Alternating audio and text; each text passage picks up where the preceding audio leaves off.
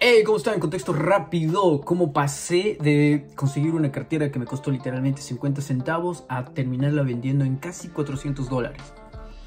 De locos. Bueno, primero, ¿cómo conseguir la cartera? En Estados Unidos hay una empresa que se dedica a recibir eh, donaciones que se llama Goodwills. Es un lugar en donde tú vas y donas cosas usadas, cosas nuevas, empresas que ya no están vendiendo su producto, simplemente lo donan para que eh, la empresa tenga donaciones. Y esto a su vez ponen en venta al público en general para poder sacar fondos. Entonces ahí es en donde me ves a mí yéndome por primera vez allá. Y aquí quiero recalcar que es un lugar en donde venden ropa o venden los cosas o accesorios por peso. Cada libra cuesta 50 centavos. Sí, 50 centavos. Está de putas. Está de locos. La cuestión es que yo me fui sin saber, no tengo grabado cómo, cómo conseguir la cartera, pero este, tengo, eh, tengo estas siguientes imágenes que más o menos para que vean cómo es el lugar y todo lo demás. Ok, este de aquí es eh, la fachada del lugar de Goodwills que está ubicado en la 47 Van Damme Street Queens, New York. Eh, este lugar, claro, en el interior encuentras varias secciones en donde hay la sección de libros, como puedes ver son libros totalmente nuevos, otros son usados, otros son...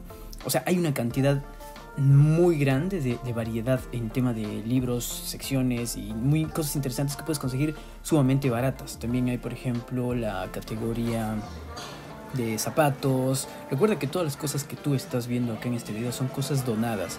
Que si bien son de segunda mano, eh, hay cosas muy nuevas también. O sea, puedes conseguir cosas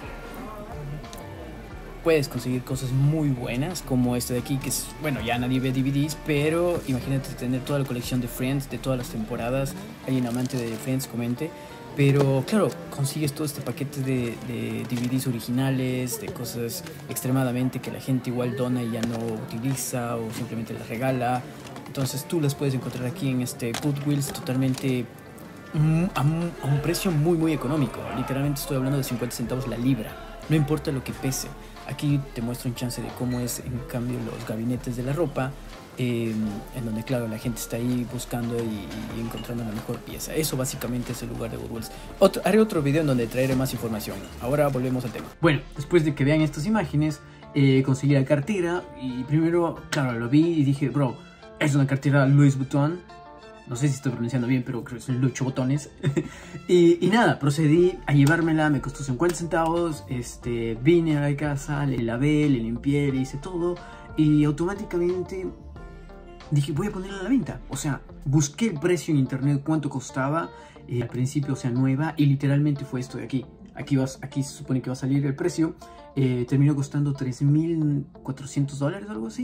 Este, nueva, era de la colección 2006 eh, de Louis Vuitton. Entonces procedí igual a calcular el, precio que era este y dije, bueno, una persona que creo que, es, eh, que sepa de estas cosas de carteras y quiera comprar, creo que sí puede pagar 100 dólares. Así que nada, partí y puse 100 dólares. En donde puse, eh, elegí dos plataformas. Una fue eBay y la otra fue Marketplace de Facebook. Posteé así.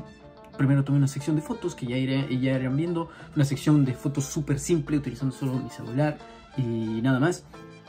Esta era la famosa cartera. Como pueden ver ya muestra desgaste en su tela, en, sus, en su cuero, en sus cosas, en su cosido, pero igual sigue siendo auténtica.